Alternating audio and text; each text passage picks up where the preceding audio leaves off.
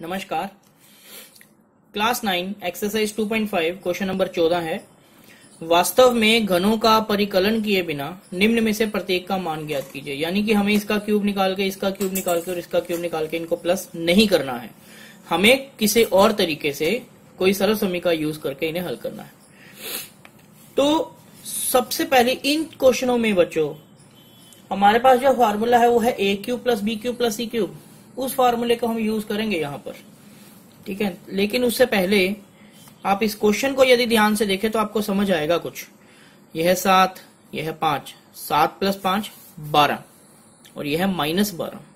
इसका मतलब यदि तीनों को प्लस कर दें तो वो ज़ीरो आता है, यानी A plus B plus C zero के बराबर है। इसी चीज़ को मैं यूज़ करने जा रहा हूँ, क्योंकि आपने अभी क्वेश्चन नंबर तेरह में यदि पढ़ा है कि यदि x plus Y plus Z zero के बराबर हो तो X cube plus Y cube plus Z cube किसके बराबर होता है? थ्री एक्स वाई जेड के बराबर होता है। इसी सर्व समीका का मैं यहाँ यूज़ करूँगा। ठीक है? हम देख पा रहे हैं कि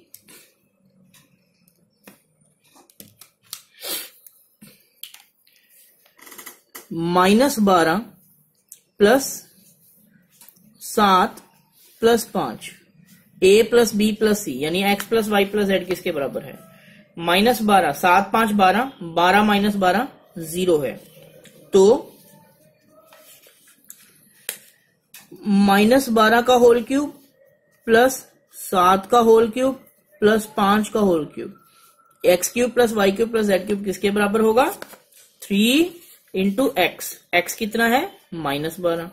इंटू वाई वाई कितना है? सॉरी सात इंटू जेड जेड कितना है? पाँच. यानी कि इनका क्यूबों को प्लस करना है तो क्या करें? हम थ्री एक्स वाई जेड निकाल दे। अब हमें इसे हल करना है सिर्फ़। ये बराबर होगा। ध्यान से देखना, जो मैं करने जा रहा हूँ। ज़रूरी नहीं कि इनको गुना करके देखो, बारह इंटू पाँच। बारह पाँच कितना हो गया? साठ। तीन गुना सात, इक्कीस।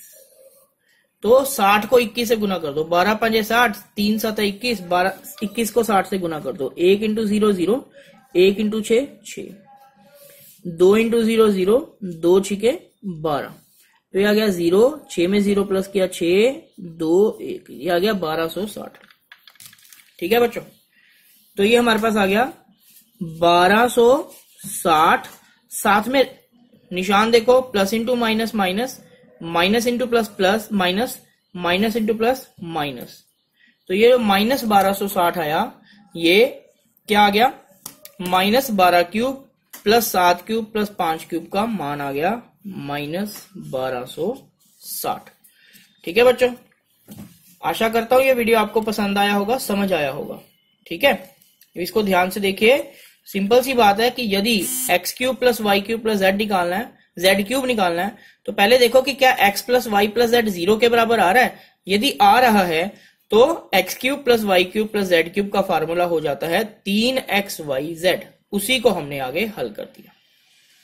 ये वीडियो समझ आया तो इसको लाइक ज़रूर करना। धन्यवाद।